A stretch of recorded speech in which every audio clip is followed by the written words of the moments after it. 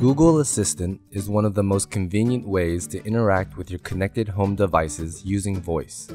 We will now show you how you can link your Google account to your router and control the router by using just your voice.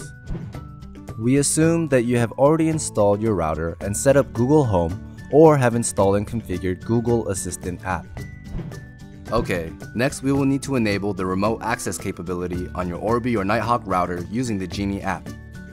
To set up remote access, you must be on your local network connected directly to your router. Make sure your router is updated to the latest firmware. Okay, let's walk through how to sign into your account. To begin, download the new Netgear Genie app from the Apple App Store or Google Play based on your device's operating system. Now let's open up the app and sign in with your account credentials. However, if you do not have an account, please create an account at this point. Alright, sign in with your email and password. One note, this is not the password for your network.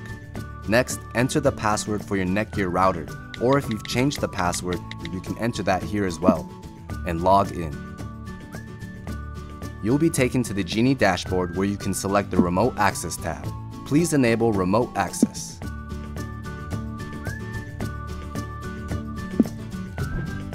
The rest of the steps here are shown using the Google Home product and the Google Home app. You can do the same using the Google Assistant app. Just say, OK Google, talk to Netgear.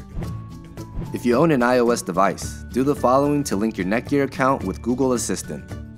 Launch the Google Assistant app. Tap the microphone icon and say, Talk to Netgear. It looks like your Netgear account is not linked yet. Tap the link to Netgear card. Enter your Netgear account email address and password. Tap Accept. Your Netgear account is linked. Say a command. Some example commands are as follows. OK Google, ask Netgear what are my Wi-Fi settings.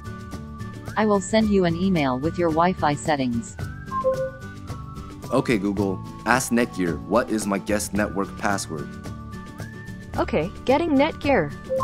Your guest network does not have a password. It's that simple.